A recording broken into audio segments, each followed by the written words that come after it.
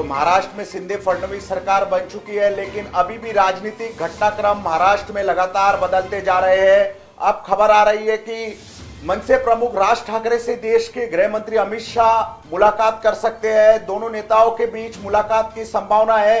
हाल ही में देवेंद्र फडणवीस, महाराष्ट्र भाजपा प्रदेश अध्यक्ष चंद्रकांत बावनकुले और राज्य के मुख्यमंत्री एकनाथ शिंदे ने शिव तीर्थ पहुंचकर मनसे प्रमुख राज ठाकरे से मुलाकात की है और अब खबर आ रही है कि गृह मंत्री अमित शाह भी मुलाकात कर सकते हैं। मनसे प्रमुख राज ठाकरे से, हालाँकि इसको लेकर किसी तरह कोई भी तरफ़ से पुष्टि नहीं की गई है, ना कि भाजपा और ना ही मनसे की तरफ़ से, लेकिन सूत्रों के हवाले से जो जानकारी मिल रही है, दोनों नेताओं के बीच बड़ी बैठक हो सकती है और आगामी दिनों में जो महानगर पालिका के चुनाव है, उसको लेकर एक नया गठबंधन महाराष्ट्र में देखने को मिल सकता है, जो है मनसे भाजपा और शिंदे गुट का और ये गठबंधन शिवसेना को मनपा के सत्ता से बेदखल करने के लिए एक मज़बूत विकल्प साबित हो सकता है। इसी वजह से आने वाले दिनों में संभावना है कि शिवसेना को हराने के लिए बीजेपी, शिंदे गुट और मनसे का एक मज़बूत गठबंधन तैयार हो सकता है। और इसी गठबंधन को बनाने के लिए, तैयार करने के लिए अमित शाह और राज ठाकरे के बीच मुलाकात की संभावना है।